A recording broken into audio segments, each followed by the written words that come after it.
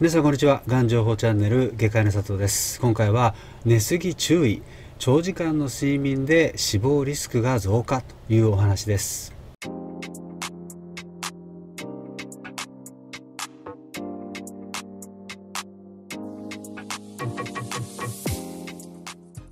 え皆さんは平均で何時間寝ていますか？えー、適切な睡眠をとることは、まあ、健康を維持する上でとても重要です、え、ではですねそのがん患者さんにとって、理想的な睡眠時間というのはどのぐらいでしょうか、え昔からですね、まあ、病気になったらおとなしく療養することや、まあ、安静にしておくということが良いというふうに考えられていました。まあ、ですからがんになってですね睡眠時間が増えた人がいるかもしれません、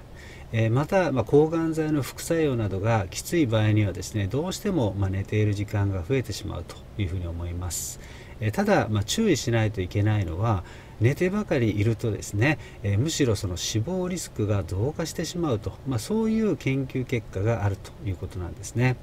で今回はですね3つの研究を紹介したいと思います。まずは乳がん患者さん3682人を対象としてがんの診断後の平均の睡眠時間を調査をしてそして死亡率の関係を調べたそういう研究です。結果はですね夜間8時間睡眠の人に比べて9時間以上の睡眠時間の人では乳がんによる死亡リスクが46%も上昇していたと。そしてまあ全ての原因による死亡リスクも37%高かったとそういう結果でした。そしてですね、がん診断後に診断前より睡眠時間が長くなった人では、全ての原因による死亡リスクが35%高くなっていたということです。えさらにですね、まあ、睡眠障害、例えばこれは入眠障害や、え中途覚醒などがある人ですね、こういったことが多い人では、やはり死亡リスクが49%も上昇していたということです。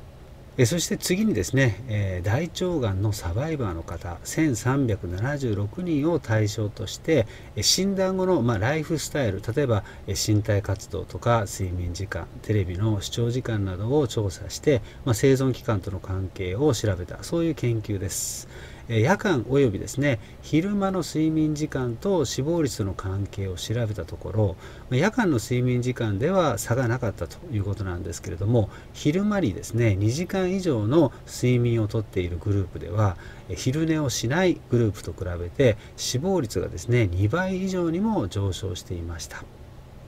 そして最後にですねさまざ、まながんの患者さんを対象とした大規模な研究結果を紹介します。これはですねいろいろな部位のがんのサバイバーの方2万2799人を対象として、まあ、睡眠時間によってですね3つのグループに分けました。6時間以内の、まあ、短い睡眠時間それから7から8時間の健康的な睡眠時間そして9時間以上の長時間の睡眠時間のグループですね。でその結果ですね長時間の睡眠、まあ、9時間以上の睡眠をとっているグループでは7から8時間の健康的な睡眠時間のグループと比べて72%もですね全ての死因による死亡リスクが高くなっていました。またがんの種類別に見るとですね、まあ、膀胱がんそれから乳がん大腸がんそれから腎臓がんなどで死亡リスクの増加が認められました。まあ、以上の結果よりですね、まあ、がん患者さんでは長時間の睡眠あるいは長時間の昼寝はですね、まあ、がんや他の原因による死亡リスクを高める危険性があります。まあ、これ人によってですね睡眠時間、まあ、必要な睡眠時間というのはま違ってきますけれどもおおむね7から8時間のま適正な睡眠時間をとるように心がけましょう。